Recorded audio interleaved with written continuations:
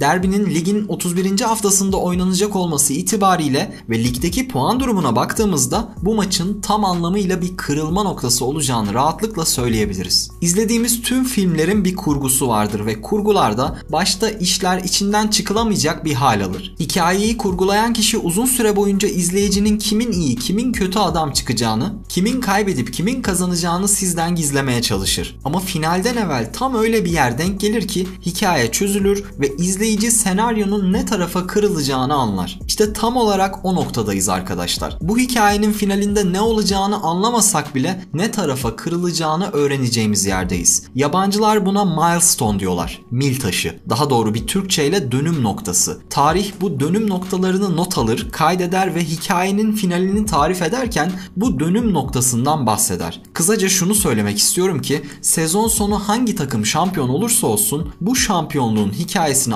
anlatırken bu pazar akşamı oynanacak derbiden bahsediyor olacağız. İşte ligin ne tarafa kırılacağını belirleyecek bu derbi öncesi form durumlarını da göz önünde bulundurarak her iki takım açısından ele alınmış farklı senaryoları işleyelim.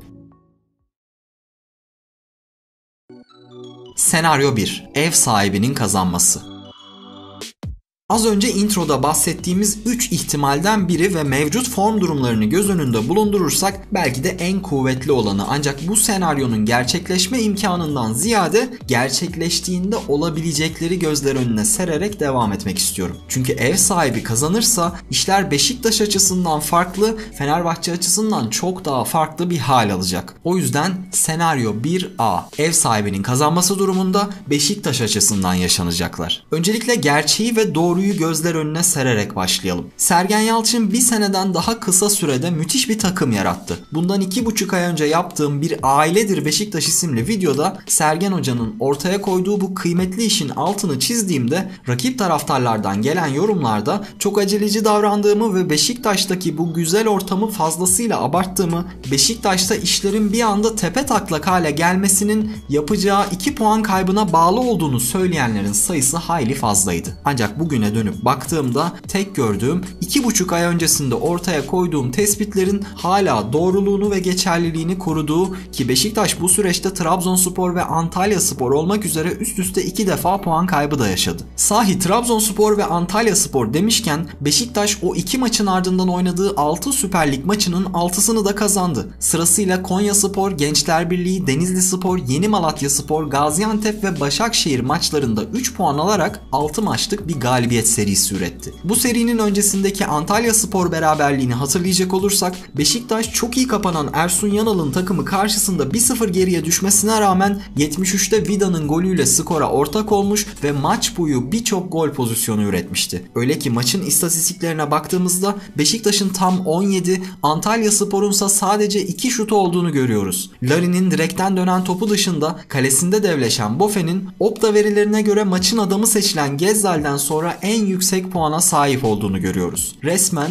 girmeyince girmiyor dedirten bir performansla puan kaybetmişti Beşiktaş. Bu maçtan bir önce oynanan ve mağlup olunan Trabzonspor maçı da hiç farklı değildi. Beşiktaş golcüsü Abu Bakar'la 1-0 öne geçmesine rağmen devre biterken PlayStation'da yeseniz Rage Quit atacağınız şanssız bir golle devreye beraberlikle girmişti. Uğurcan Çakır'ın resmen Superman modu açtığı maçta Beşiktaş sayısız fırsattan faydalanamamış, Vakayeme'nin yoktan var ettiği pozisyonda Vitor Hugo'nun düzgün vuruşuyla mağlup duruma düşmüş ve 77'de Dorukan'ın atılmasıyla 10 kişi kalmıştı. Puan kaybettiği iki maça da bakınca Beşiktaş'ın puan kaybetmesi için tam da böyle şeyler olması gerek diyebiliyoruz. Puan kaybı yaşanan bu iki maçtan daha öncesine baktığımızda da 4 maçlık bir galibiyet serisi olan Beşiktaş vardı. Bunları belli bir sebepten dolayı izah ediyorum elbette. Ligimizde şampiyonluğa doğrudan etki eden yazılı olmayan iki tane altın kural var. Bir, kötü futbol oynarken bile galip gelmenin bir yolunu bul. İki, kaybederken bile iyi futbol oyna. Ve söylemek gerekir ki Beşiktaş ikisini de büyük ölçüde yapabilen bir takım. Son oynanan Başakşehir maçını ya da Atiba'nın golüyle kazanılan Yeni Malatya Spor maçını kural 1'e örnek verebiliriz. Beşiktaş çok iyi top oynamamasına rağmen bu maçları kazanabilecek bir formül üretebilmişti. Demin bahsettiğimiz üzere Antalya Spor ve Trabzonspor maçları ise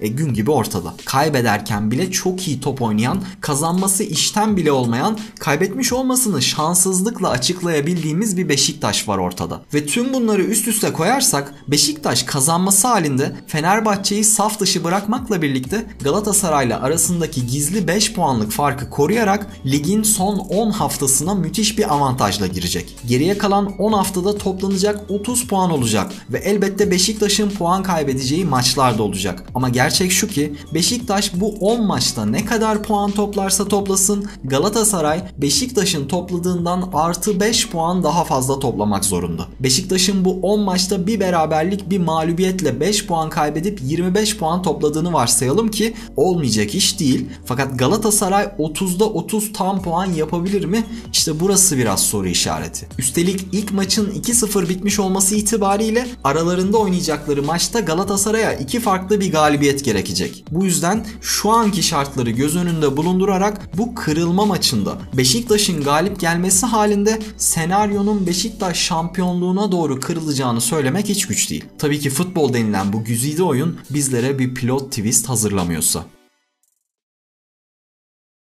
O halde senaryo 1'in B tarafına bakalım. Ev sahibinin kazanması durumunda Fenerbahçe açısından yaşanacaklar. Fenerbahçe açısından yaşanacak kötü senaryolardan biri bu ama en kötüsü bu olmayabilir. Bu gerçekleşirse Fenerbahçe'de hali hazırda zaten çok yüksek olan ve genellikle Erol Bulut ya da Emre Belezoğlu özelinde yükselen değişim sesleri çok daha şiddetli ifadelerle artarak Başkan Ali Koç yönetiminin de sorgulandığı bir boyuta dönüşebilir. Sadece teknik kadroyla sınırlı kalmayan idari kadroyu da işin içine katan bir değişim ortaya çıkabilir. Çünkü bu sonuç Fenerbahçe açısından sadece bir derbi kaybı değil 7 senedir kazanılamayan şampiyonluğun 8. kez kaybedildiği anlamını taşır. Kaybetmekten yorulmuş ve ne yapması gerektiği hakkında kafası son derece karışık olan camianın daha farklı ölçeklerde bölünmesine sebep olabilir. Dahası henüz Nisan'ı göremeden yarışa havlu atmış olmak, hala oynanacak 10 maç olmasına rağmen amaçsız kalmış olmak o maçlar oynandığı esnada Fenerbahçe'ye gönül verenler açısından çok yaralayıcı bir süreç olabilir. Yani evet bu maç ev sahibinin galibiyetiyle birlikte sonuçlandığında mutlaka bir ya da birkaç kol kesilir. Kazanlar kaynar ama takibindeki 10 maçlık süreçte o kazanın suyu hiç soğumaz. Büyük takımlarda forma giyen büyük oyuncular için en ürkütücü olan şey hedefsiz kalmaktır. Hedefsiz kalan yıldız oyuncular başlarına buyruk hareketler yapmaya meyillidir ve bu süreci yönetmek gerçekten çok zordur. Bu 10 maçta yaşanacak bazı gelişmelerle birlikte hiç umulmadık oyuncuların ruhlarını ortaya koymadıkları, %100'lerini vermedikleri gerekçeleriyle çok yüksek sesle eleştirilebilirler. Geçen sene Tahir Karapınar'la tamamlanan sezondaki umutsuzluk hali ve boş vermişliğin gerçek Fenerbahçeliler açısından ne kadar üzücü olduğunu bir tek gerçek Fenerbahçeliler hatırlayacaktır. Ve senaryo bir olası şekilde neticelenirse tıpkı geçen sezonki gibi Fenerbahçe'nin elinde tutunabileceği tek bir teselli olur. Kendilerinin şampiyon olamadığı bir sezonda ezeli rakiplerinin de şampiyon olamadığını bilmek. Senaryo 2. Deplasman takımının kazanması. 2A. Deplasman takımının kazanması durumunda Beşiktaş'ta yaşanacaklar.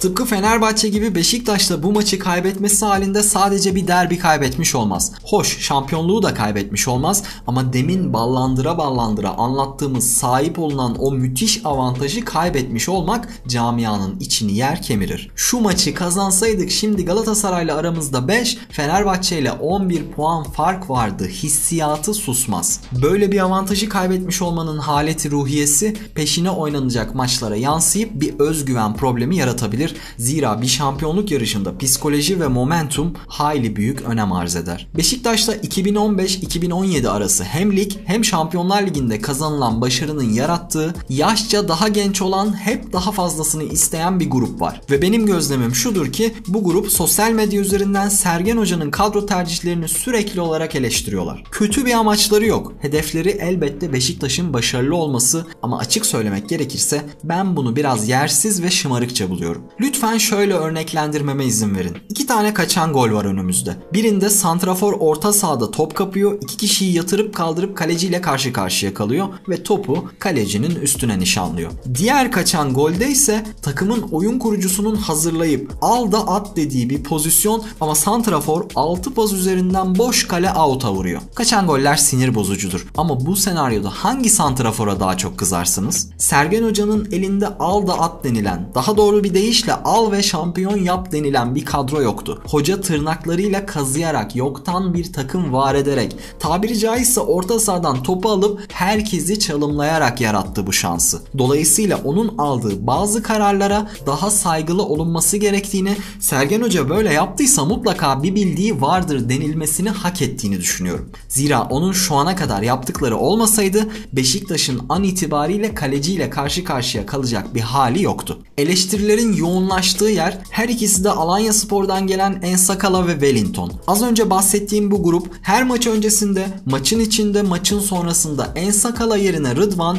Wellington yerine Montero oynamalı diyerek tercih eleştirisi yapıyorlar. Belki haklı olabilirler. Ben de Rıdvan Yılmaz'ın daha efektif olduğunu düşünenlerdenim. Ama kendime şöyle diyorum. Sergen Hoca haftada bu oyuncularla kaç saat geçiriyor? Ben kaç saat geçiriyorum? Mutlaka onun gördüğü ve bizim göremediğimiz bir şey var. Hoca da Rıdvan'ın hücum sürekliliği açısından En Sakala'dan daha yetenekli olduğunu görüyordur elbette. Ama belki arkasında En Sakala oynadığında daha defansif bir oyuncu olması itibariyle Larry'nin daha az geriye dönmek zorunda kaldığını ve bunun bir yansıması olarak Larry'nin daha efektif olup skora daha çok katkı verdiğini keşfetmiştir. Ve sırf bu yüzden Rıdvan'dan daha kötü olmasına rağmen Larin üzerinden takımın total formuna daha fazla etki verdiği için En Sakala'yı oynatıyordur. Yani mutlaka kendince doğru bir açıklaması, bir bakış açısı vardır Sergen Yalçın'ın. Fakat söylediğim gibi Beşiktaş kazanırken, kazanmaya devam ederken bile belli oyuncular üzerinden bu tip hoca eleştirisi yapan grup senaryo 2'nin gerçekleşmesiyle ya biz bu haldeki Fenerbahçe'ye nasıl kaybettik düşüncesiyle eleştirilerinin dozunu bir başka seviyeye çıkarabilirler. Ve başta söylediğimiz gibi bu maçın kaybedilmesi Beşiktaş açısından sadece bir derbinin kaybedilmesinden çok daha büyük sorunlara yol açabilir.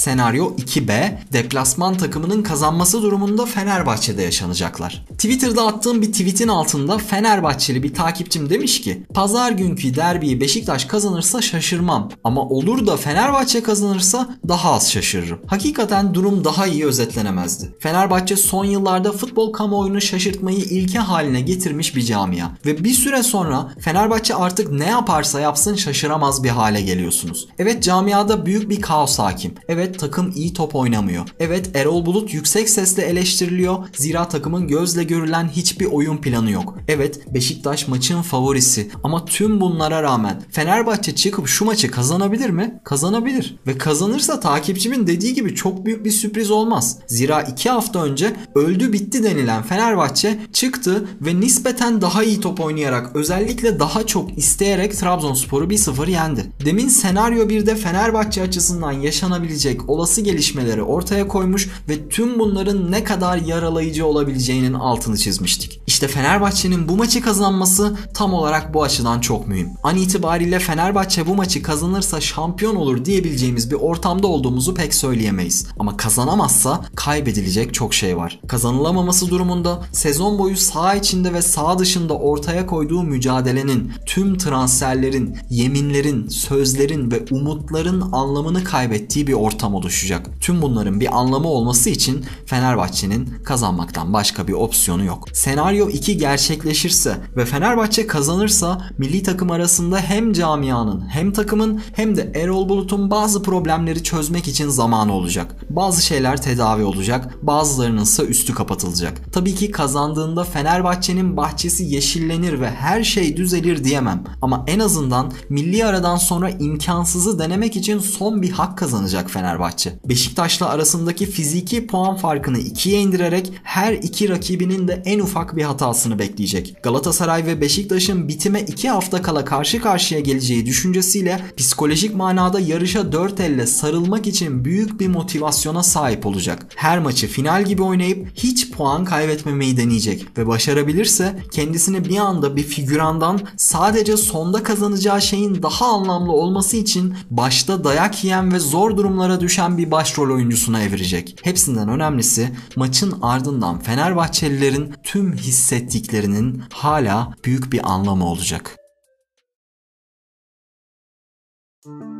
Senaryo 3. Berabere kalınması. Bu senaryoyu A ve B olarak iki alt maddeye ayırmaya gerek görmedim zira bu sonuç iki takıma da yarar sağlamaz. Bir beraberlik halinde Beşiktaş maçı kaybettiği kadar olmasa da çok ciddi bir avantajı yitirmiş, Fenerbahçe ise tıpkı mağlubiyette olduğu gibi yarışa havlu atmış olur. Bu sonucun yarayacağı tek bir kulüp varsa o da şüphesiz Galatasaray. İşte başta söylediğimiz gibi bu derbi öyle bir kırılma noktası ki sadece derbiyi oynayan iki tarafı değil yarışın içinde bulunan diğer takımları da en az oynayanlar kadar yakından ilgilendiriyor. Beraberlik durumunda Fenerbahçe şampiyonluk yarışına veda ederken ezeli rakibi Galatasaray'ı potaya sokmuş olur ki Fenerbahçeli bakış açısından sanırım yaşanabilecek en kötü senaryo bu olur. Beşiktaş ise sadece 2 puan kaybetmiş olmakla kalmaz, arkasında kurt gibi bekleyen Fatih Terim'in çalıştırdığı Galatasaray'ın ekmeğine yağ sürmüş olur. Galatasaray ise Fenerbahçe'nin yarışa havlu attığı bu senaryoda arkamdan gelen var mı diye bakmak zorunda kalmadan tüm konsantrasyonunu önündeki rakibine kanalize eder. Hele Galatasaray Cuma günü Rize Spor'u yenerse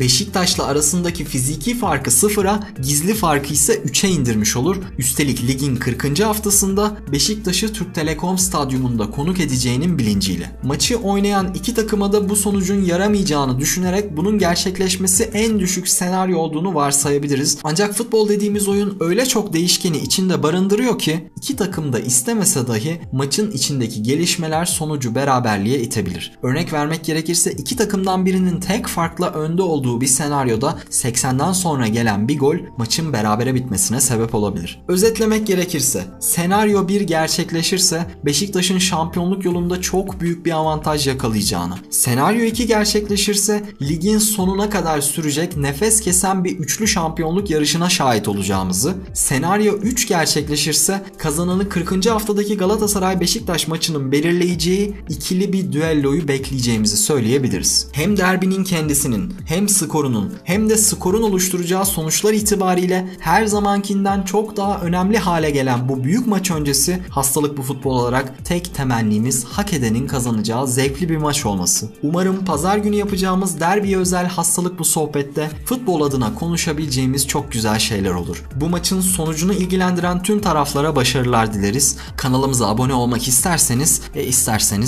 olursunuz zaten. Kendinize çok iyi bakın. Hoşçakalın.